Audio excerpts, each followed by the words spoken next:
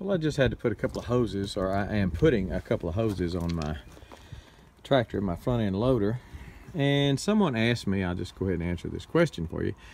Uh, I'm not necessarily going to show you, it's pretty self-explanatory. They, to, uh, I had to put on the back two, and um, uh, I had to remove the front two just to be able to get to them.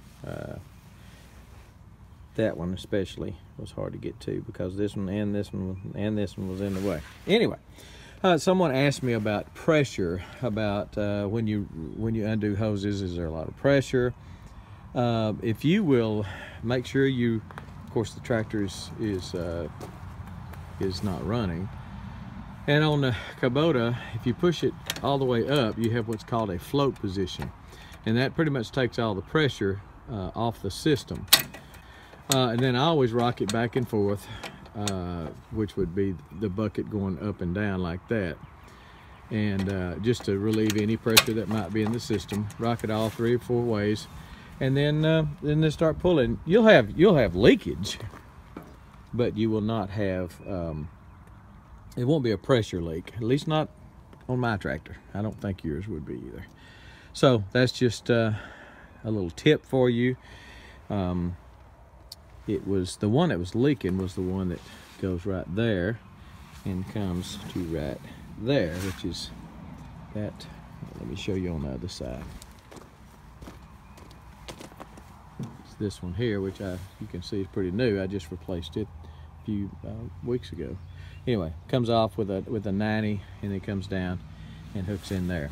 So that's one I'm replacing on this side and uh, just wanted to, to talk to you about the um, the pressure, you know, someone asked was a little worried that uh, when they um, when they change hoses, would there be a, a, a problem with uh, you know getting sprayed by hydraulic fluid?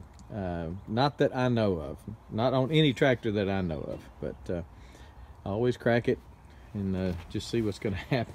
Don't just uh, well anyway. As you crack it, you'll see. Like I say, it'll start leaking because it there there is obviously there's there's uh, fluid in the hoses coming from here so just gravity itself is going to say that, that that hose is full of fluid and it's going to drain out. Anyway just thought I'd show you that real quick video. Um, changing uh, hydraulic hoses. Pretty easy to do. Pretty self-explanatory. Just kind of sometimes kind of hard to get to. And uh, so this one that I'm doing right there that goes to the front of that um, ram, hydraulic ram, will come to right there. This one that goes with the L-shaped fitting will come to right there. And when you're in doubt, you say, oh my gosh, I'm gonna hook these up wrong. Just look at the other side. Just figure out what the other side does and you'll know what to do on this side. Pretty self-explanatory. You can always color code them or you can always write numbers on them or whatever. If you don't it's kind of like doing the rear brakes on a car. I wouldn't undo all all four of these and all four of these at the same time. Then you may have a little problem trying to figure out where what goes where. But take a picture of it before you uh, do it or look at the other side whatever floats your boat. Changing the hoses.